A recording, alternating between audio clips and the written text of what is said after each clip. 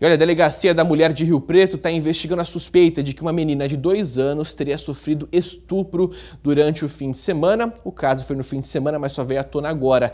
Repórter Melissa Alcântara está em frente à DDM ao vivo, tem as informações pra gente. Mel, ótimo dia para você. Polícia já sabe quem é o suspeito?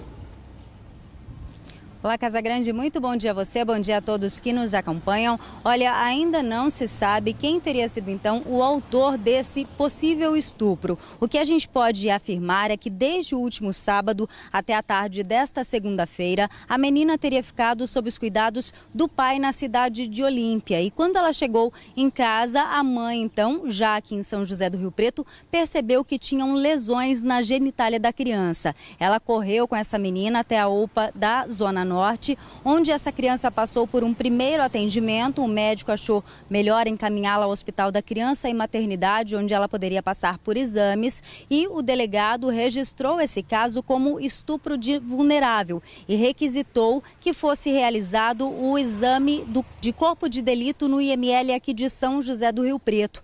A delegada da Delegacia de Defesa da Mulher, que agora vai ficar à frente desse caso, espera então o resultado desse exame do IML aqui de Rio Preto para dar prosseguimento às investigações. Não é Casa Grande só aqui em São José do Rio Preto, de janeiro a julho deste ano, já foram registrados 66 casos de estupro de vulnerável, que inclui aí não só os menores de 14 anos, como também os idosos e pessoa com algum tipo de deficiência. Voltamos com você. Olha, fazendo uma conta rápida, pessoal, é como se fosse um caso a cada três dias. É muito preocupante o que passa na cabeça humana para ficar abusando, para ficar estuprando o vulnerável. Independentemente de quem seja aí, pessoal, isso tem que ser punido, tem que ser investigado, por isso que a DDM está em cima e já conhece como que agem aí esses abusadores, esses estupradores. Então tá ligado, a gente continua acompanhando. Imagine, né, Mel, dois anos de idade, a criança aí vítima de uma situação como essa, é realmente lamentável e repugnante saber que tem gente que ainda faz isso com criança criança. Obrigado pela participação.